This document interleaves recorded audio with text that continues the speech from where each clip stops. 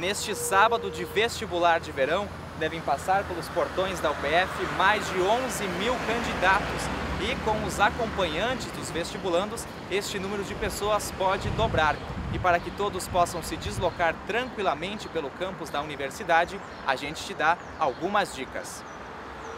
No dia do vestibular, eh, nós teremos um grande fluxo de veículos, então nós orientamos que o pessoal venha com calma, com paciência e chegue cedo ao campus. É, a ideia é que entre meio-dia e 30 e 13 horas e 30 minutos o fluxo de trânsito esteja completamente congestionado. É, orientamos que o pessoal faça o desembarque do pessoal rapidamente na avenida e já procure os locais de estacionamento. Lembrando que nesse dia todas as conversões à esquerda e à direita na avenida principal estarão bloqueadas. A ideia é o pessoal chegar cedo, nosso centro de convivência já estará aberto a partir das 8 horas da manhã. Venham cedo, aproveite o dia no campus, eh, procurem logo que entrar no campus, sendo pelo pórtico principal ou pelo portão secundário, já procurar uma vaga de estacionamento.